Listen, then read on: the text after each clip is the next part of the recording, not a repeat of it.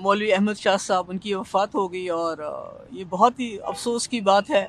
जला वतनी में यहाँ उनका जनाजा गायब। मैं उमर साहब शिरकत करना चाहते थे मिरवाइज उमर साहब, और उनको रोका गया। ये एहसास दिलाती है कि वो एक जमहूरी मुल्क का हिस्सा नहीं, बल्कि शायद किसी गुलामी के तहत यहाँ रह रहे हैं वो।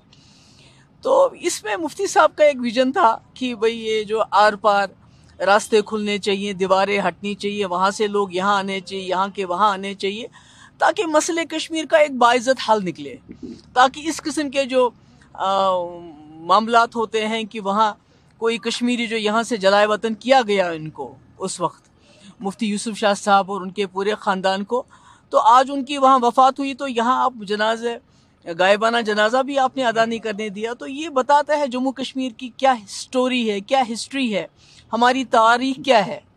और इस मकमसे से बाहर निकलने के लिए इस मसले के हल के लिए मसले कश्मीर को हल किए बगैर इन जख्मों के पे मरहम लगाने के बगैर मरकजी सरकार के पास और कोई चारा नहीं है। आज पीडीपी की तरफ़ से आर्टिकल 370 पे रेजोल्यूशन लाया गया तो काफ़ी हंगामा हुआ। क्या कहेंगे इसके बारे में?